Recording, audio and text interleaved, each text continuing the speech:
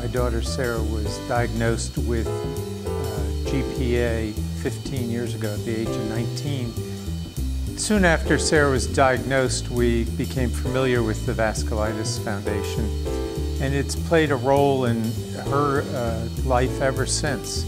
Uh, we've met several physicians who've been instrumental in improving her health, uh, and we got a great deal of information those first days after uh, being given the diagnosis when there's just a lot of uncertainty about what the future held. Um, if anything, I think meeting uh, other patients over the course of the years at symposiums and being exposed to experts on the subject really gave hope to her and to us uh, about her ability to live a, a relatively normal life. Uh, she has uh, since uh, gone to medical school, become a doctor, and has uh, now has a family of two children.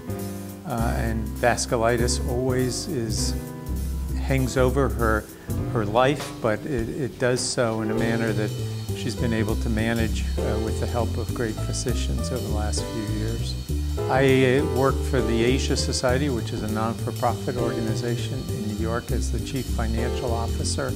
And before that, I spent about a quarter century working uh, for Kraft Foods in financial positions. And so I am excited about coming to onto this board of what is a terrific organization and bringing skills I've learned about both nonprofit, uh, being on a, a, nonprofit organization, as well as uh, financial experience to help uh, the Vasculitis Foundation fulfill its mission. What I see in, in joining this board is the incredible um, uh, strides that have been made in, in, in improving treatments uh, for patients and to make um, living with this disease um, as, as nasty as it is easier.